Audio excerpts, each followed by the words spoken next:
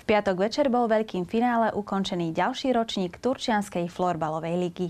Športové centrum v Diakovej sa stalo v piatok večer dejiskom jednak veľkého superfinále, ale zároveň aj reprízou minulého ročníka.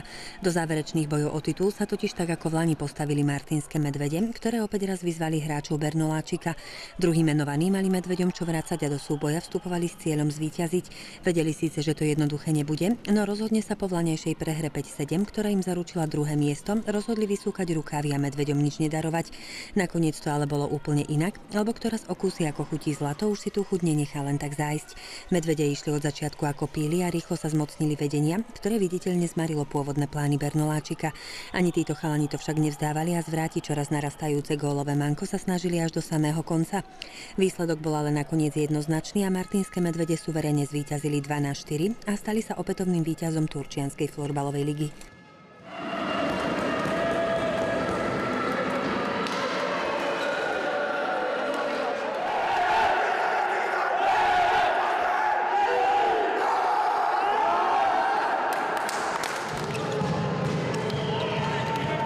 Tak super, chalani zahrali fakt uh, výborný zápas, ako my sme ani nepočítali s tým, že to skončí o 8 gólov, ako uh, chceli sme samozrejme vyhrať, ale mm, nie až takým rozdielom a ja som fakt rád, že sa nám to podarilo, lebo chalani podali neskutočný výkon, výborne bránili a uh, dneska vynikajúco zahralo duo Čavajda uh, s Danom Okuliarom, ktorí dali vyše dve tretiny našich golov, takže fakt klobúk dole pred ich výkonom. No, chceli sme, samozrejme, že chceli sme vyhrať.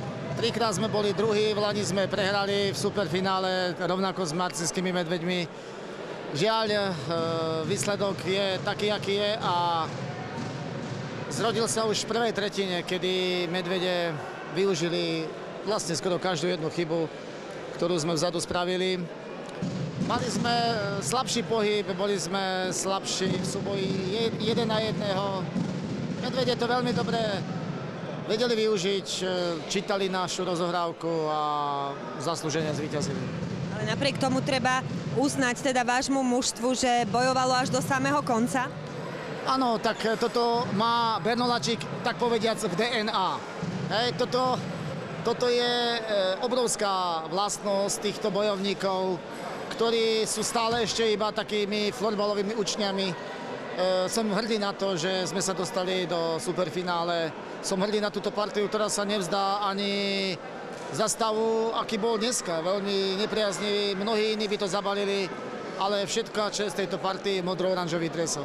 A oni podávali celú sezónu také konštantné výkony, hrali fakt pekný florbal a nám bohužiaľ pred týmto zápasom vypadli traja kľúčoví hráči, či už to je Ďuro Kubička, ktorý šiel na reprezentovať Slovensko v kategórii do 20 rokov, či je to Mišo Wagner, ktorý je zranený, alebo Miro Kohan, ktorý mal pracovné povinnosti. Takže trochu sme sa aj báli pred zápasom, že ako to poskladáme, hrali sme iba na dve obrany, takže mm, určite sme s tým nešli do zápasu, akože ideme vyhrať takýmto veľkým rozdielom a o to je to krajšie.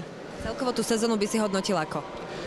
Tak uh, my v podstate sme boli skoro celý ročník prvý. Uh, o to prvé miesto sme prišli až v poslednom zápase práve s Bernom Lačikom, kde sme sa paradoxne zišli iba 7, respektíve 8 hráči. Takže, ale myslím, že tá facka nám aj pomohla ako pred koncom, že sme neskončili v tej sezóne prvý a nešli sme z tej pozície favorita ako do toho play-off, takže to nám myslím, že aj pomohlo. Sezóna sa hodnotí po poslednom zápase, čiže my sme ten posledný zápas prehrali, ale hodnotím ju pozitívne, aj preto, lebo sme sa zase dostali do finále a dostať sa do finále v TFL naozaj nie je jednoduché. Chlapcom ďakujem za výkon v celom play-off, aj v tomto finále, kedy naozaj išli na hranici svojich možností. Škrce z rozpočet nám spravil aj to, že náš kľúčový center Mišo Vargonči nemohol sa súčasniť tohto zápasu, tým pádom sa nám vlastne rozsypala koncepcia smerom dopredu a Takisto aj e, hrali sme na trhu brancov, čo pri takomto čase 3x20 minút je veľmi náročné. A je to opäť výzva do toho ďalšieho ročníka? Tak e, výzvy sú, výzvy sú na to, aby sa plnili, alebo sny sú na to, aby sa plnili.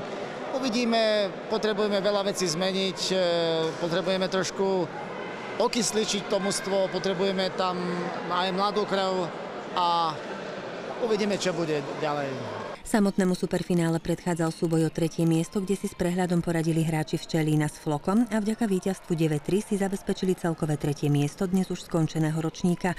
Aký ten ročník bol, čo prinesie nový, aký je celkovo záujem o florbal v našom meste, aj o tom bude niektorá z našich najbližších reportáží, respektíve aktuálnych tém.